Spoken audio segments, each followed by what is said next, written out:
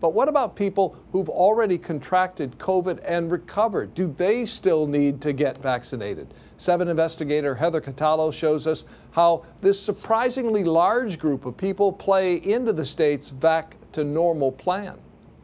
Colleen Zammit and her family know COVID all too well. We've all now had it in our family. In the fall, Colleen, her husband, and her teenage son got the virus. Then her two daughters got COVID this past spring.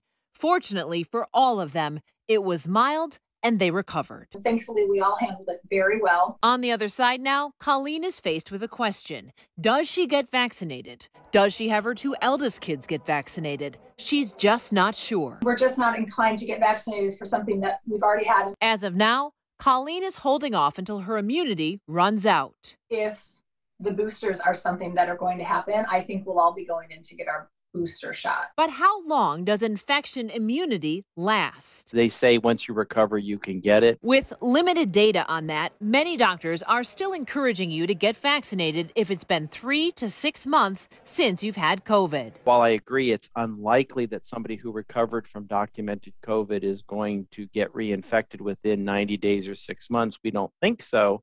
The reports are rare, but it does happen. Dr. Joel Fishbain is an infectious disease doctor with Beaumont Health. He says it was okay with previously infected people holding off on getting vaccinated in the winter when shots were hard to get.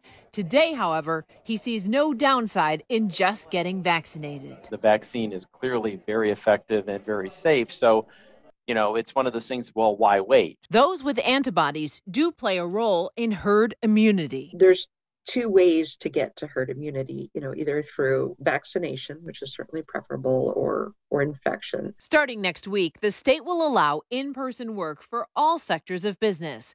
That step toward normalcy is possible because last week Michigan hit a milestone. 55% of the population over age 16 had received a shot. While the My Vac to Normal plan is based on herd immunity goals, the numbers only include vaccines. It's never talked about in the Vax to Normal plan in terms of meeting those thresholds. That's possibly because it would be really hard to keep track of people's changing immunity status as they recover from COVID 19. So experts continue to encourage everyone to get vaccinated so the state can have a clear sense of our collective immunity. I'm Heather Catallo, 7 Action News. Meantime,